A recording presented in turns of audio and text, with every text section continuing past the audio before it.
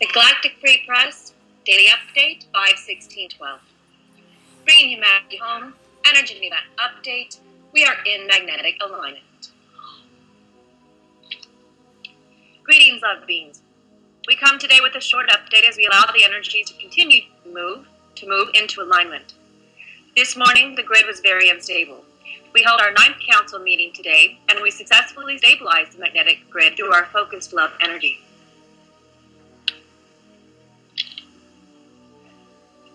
Our sun is quiet at the moment. However, we have several sunspots which could become active and Earth directed.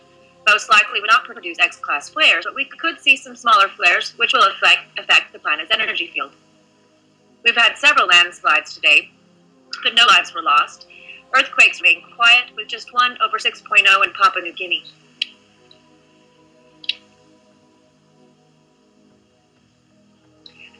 Release of the denser energies right now must occur for us to bring in the higher energies. As a result, in these next four days, the magnetic field will be fluctuating until we arrive at the eclipse and alignment. This is where at exactly 6.30 p.m. Pacific, we will align our unified energy with the planet through Mount Fuji and open the Stargate portal. This will occur at Ascension Rock and will open an energetic door to bring in balanced harmonics to planet Earth equal heart.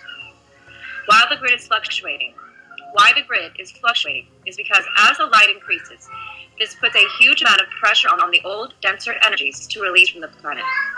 This is occurring as we raise the energy field of the entire planet and readjust for the planet-wide reboot, which will occur on this eclipse. These energies will be in process until the June solstice. Humanity is truly on the fast track.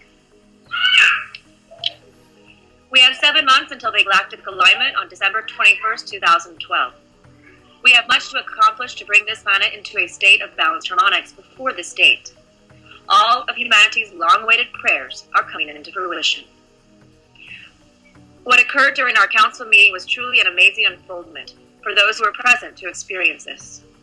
Our focused love energy will allow for a smoother release of these old dense energies. In these incoming days, we will still be fluctuating be gentle on yourself and others, and remember the more you release, the more the higher energies can enter. Embrace these days, everyone, as many grand events are getting ready to manifest. Decreed by heaven, the removal of those powers that were be smoothly, with the highest love, be removed as soon as possible to make way for love's surprise. This is divine plan manifesting now on planet Earth, equal heart.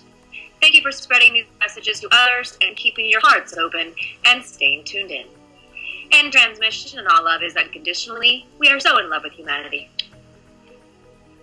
Love the Galactic Free Press staff, Humanity's Earth allies, the Company of Heaven, and the First Contact Ground Crew team.